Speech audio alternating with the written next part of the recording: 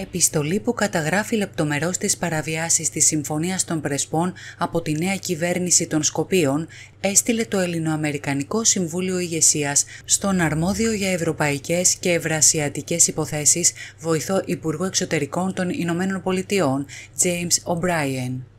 Στην επιστολή, ο εκτελεστικός διευθυντής του HALC, Έντι Ζεμενίδης, καταγράφει λεπτομερώς τις περιπτώσεις που η νέα κυβέρνηση στη γειτονική χώρα έχει υπονομεύσει τη συμφωνία, απειλώντας έτσι την περιφερειακή σταθερότητα και την ευρωπαϊκή προοπτική της περιοχής.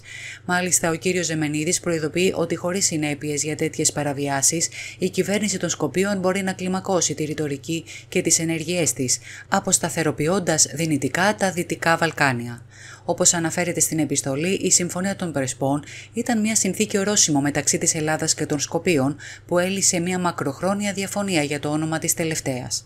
Η συμφωνία όριζε ότι η χώρα θα ονομαζόταν επίσημα η Δημοκρατία της Βόρειας Μακεδονίας, ανοίγοντας το δρόμο για την ένταξή της στο ΝΑΤΟ και την πιθανή ένταξή της στην Ευρωπαϊκή Ένωση. Ωστόσο, οι πρόσφατες ενέργειες της κυβέρνησης της Βόρειας Μακεδονίας έχουν θέσει υπό αμφισβήτηση τη δέσμευσή της στη συνθήκη, επισημαίνεται χαρακτηριστικά χαρακτηριστικά. Η επιστολή επικρίνει επίσης την πρέσβη των Ηνωμένων Πολιτειών στη Βόρεια Μακεδονία, Άντζελα Μπράι Άγγελερ, καθώς όπως υποστηρίζει η Αμερικανίδα διπλωμάτης, δεν έχει τηρήσει την πιο ξεκάθαρη στάση στο θέμα. Ειδικότερα σημειώνεται ότι τα σχόλιά της για ορισμένα περιθώρια στη συμφωνία υπονομεύουν τη σταθερότητα και τις σχέσεις γειτονίας που επιδιώκει να προωθήσει η συμφωνία.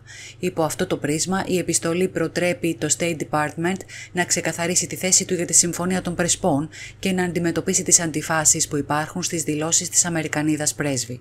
Συνεχίζοντας, το HALC εφιστά την προσοχή στο εκτελεστικό διάταγμα που υπεγράφει από τον πρόεδρο Biden στις 8 Ιουνίου 2021, το οποίο αναφέρει την παρακόλληση της Συμφωνίας των Πρεσπών ως αιτία για την επιβολή Αμερικανικών κυρώσεων.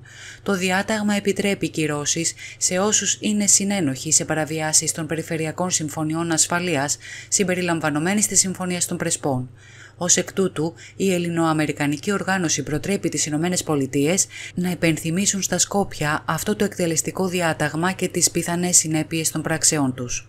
Τέλος, καθώς αυξάνονται οι εντάσεις, η επιστολή αναγνωρίζει ότι είναι σημαντικό να υπάρχει μια δημόσια και ξεκάθαρη αντιμετώπιση της υπονόμευσης της Συμφωνίας των Πρεσπών. Η επιστολή ολοκληρώνεται με την έκκληση προς τις Ηνωμένες Πολιτείες να εργαστούν για την προώθηση της σταθερότητας στην περιοχή και τη διασφάλιση της στήρησης της Συμφωνίας των Πρεσπών. Ευχαριστούμε που μας παρακολουθήσατε. Για να λαμβάνετε πρώτοι όλες τις νεότερες εξελίξεις, κάνετε like και εγγραφή στο κανάλι μας.